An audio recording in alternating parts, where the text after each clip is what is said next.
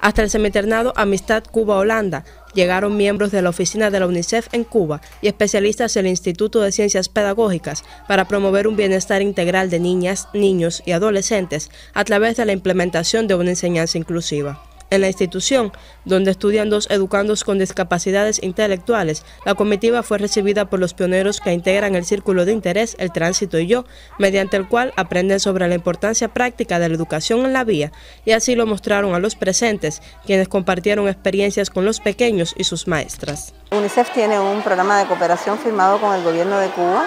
que son ciclos de, cinco años, y donde desarrollamos, nos unimos a, los esfuerzos del gobierno de desarrollar determinadas áreas programáticas que interesan a,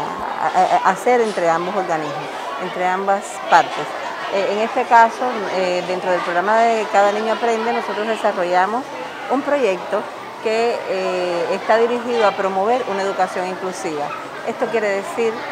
poder apoyar y fortalecer las capacidades de los docentes y de las familias para brindar un servicio educativo de calidad a niños que tienen alguna condición de discapacidad, pero que estudian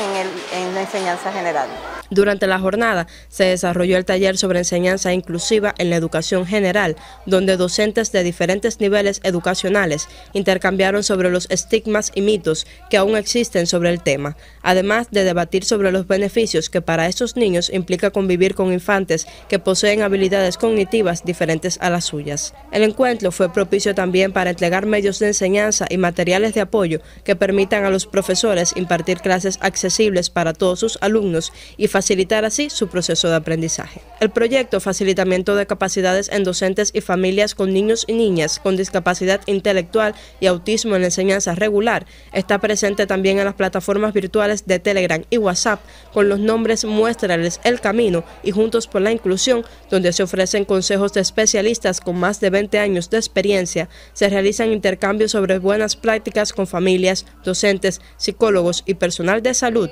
además de facilitar materiales útiles en diversos formatos y recursos accesibles con pictogramas y subtitulajes. Sean Yamón de Jarnolasco, Sistema Informativo de la Televisión Cubana.